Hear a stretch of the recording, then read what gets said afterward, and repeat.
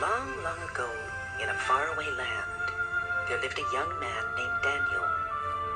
When Daniel was a boy, he was taken from his home in Judah to live in a city called Babylon, where he went to school in the palace of the Babylonian king.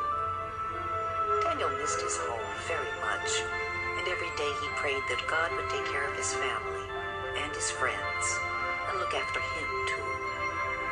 God heard his prayers helped Daniel become wise as he grew older, till everyone in the palace knew of his wisdom. Then one night, while Babylon was sleeping, the king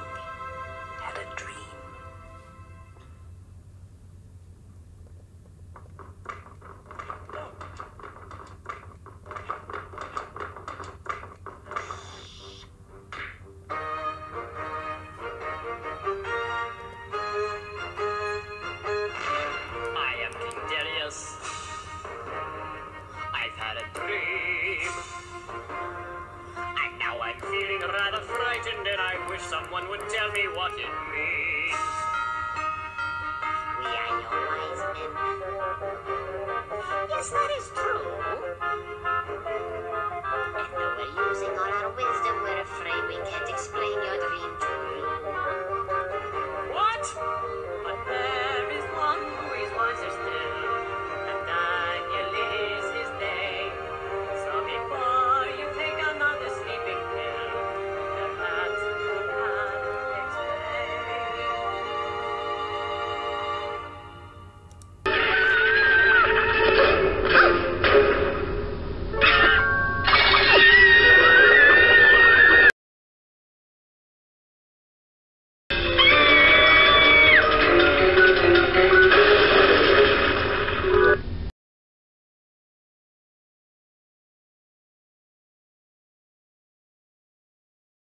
My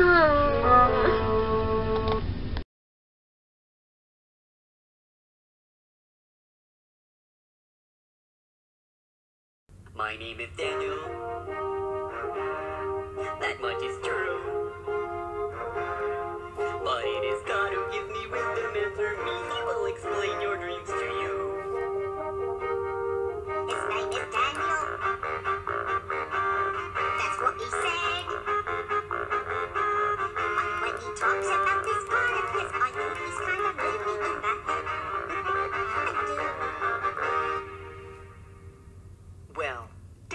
was able to explain the king's dream, and this made the king very happy. Daniel, you have enlightened me.